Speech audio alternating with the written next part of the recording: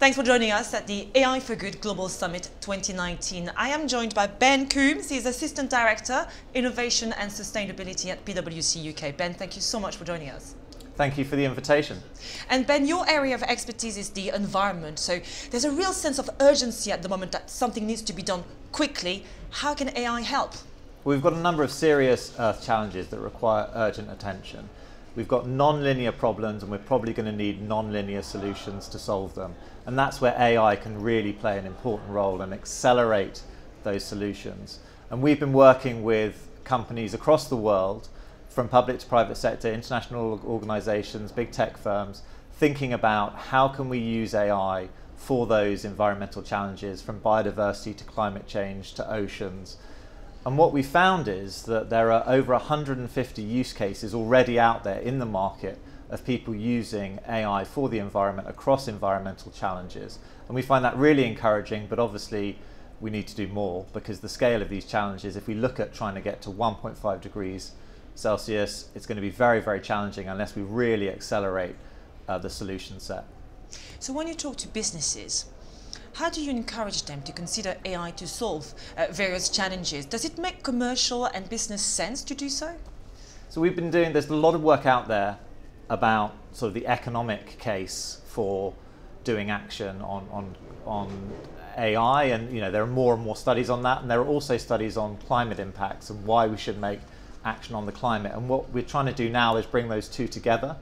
So we've recently published a report um, how AI can enable a sustainable future with Microsoft and PwC UK looking at how AI in four sectors agriculture, energy, water and transport can really transform those sectors, looking at some key levers as a preliminary study and showing how both using AI in those sectors can really unlock economic value of $5 trillion by 2030, increase GDP by 4%, and reduce greenhouse gas emissions by 4%, which is the equivalent of Australia, Canada, and Japan combined in terms of those emissions. So, this is a very preliminary study. We're not saying this is the final answer, but we really think there is an economic case there, a business case to decouple emissions from economic growth and really give us solutions that can turbocharge what we need to do to start to deliver on those commitments that all the countries have made.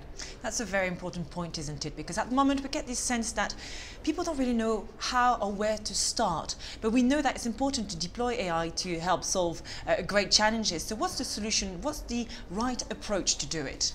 So I think there are a number of things that need to be done here. I think this is great that we've got the AI for Good Summit bringing together technologists, um, people from international organization, academics, practitioners, and all coming together to try and solve these problems. Because traditionally we've had environmental people working within their domains, technologists working within their do domains, but these are such big uh, global problems that we really need to work together to solve these problems together. And I think that we, as we see that, we will start to see bigger changes happening. We've already seen great advances in healthcare, in finance using AI, and now's the time to really extend the portfolio of what people are looking at for people and the planet.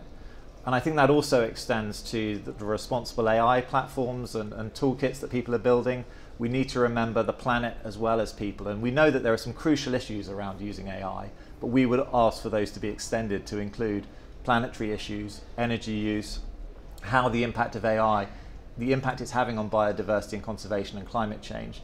And it may well be that we can have a positive outcome if we embed AI into the design phase of these solutions, which we think is really, really crucial and is something that we're out here this week talking about and really hoping that people will get on board with.